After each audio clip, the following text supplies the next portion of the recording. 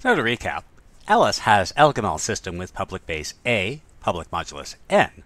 Bob wants her to sign message M, so Alice picks a random x and evaluates p congruent to a to power x mod n, picks a random k and evaluates s1 congruent to a to power k mod n, evaluates s2 congruent to k inverse m minus s1x mod phi of n, now for the document M with encryption half key P, her signed document is going to be the pair S1, S2.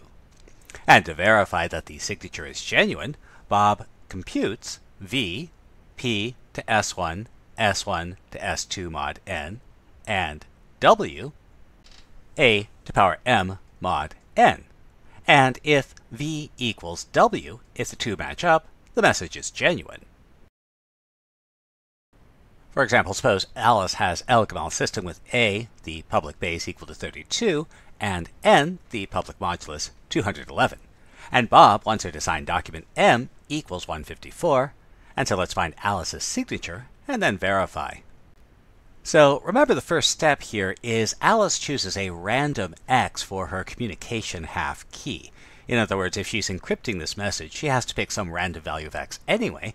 And so let's say she picks x equal to 17 and finds her half key 32 to 17 or 110 mod 211.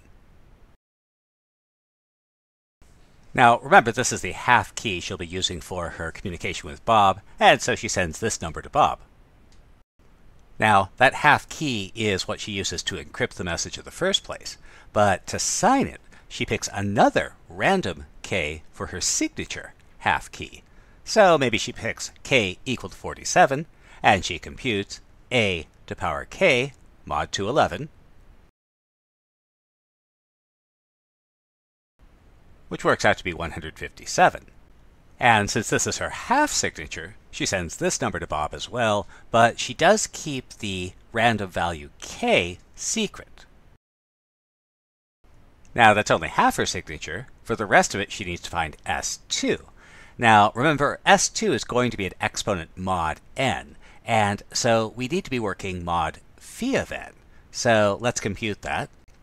So our modulus is 211, which happens to be prime, so phi of n is 210. She'll also need the inverse of the exponent that gave her the signature half key.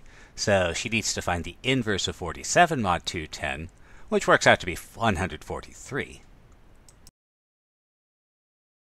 And finally, she'll compute her S2, which is K inverse times M minus X S1.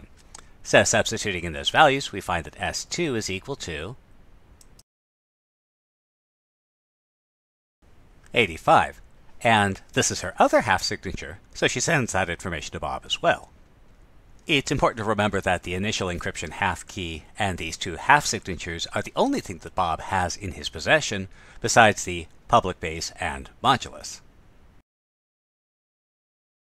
Now, in order to verify Alice's signature, Bob evaluates V, that's P, to S1, S1 to S2 mod n.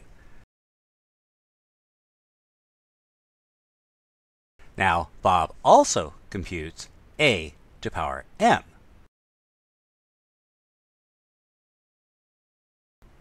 And he also gets 14, which means that the message M was in fact signed by Alice during the session that used the cryptographic half key P equal to 110.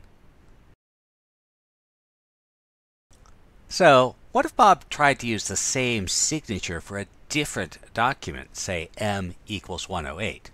So the important thing to remember is that the value of V doesn't depend on the actual message value, but W is going to be recomputed as 148, and the signature doesn't match the document. And so this document 108 was not signed by Alice, at least not during this session.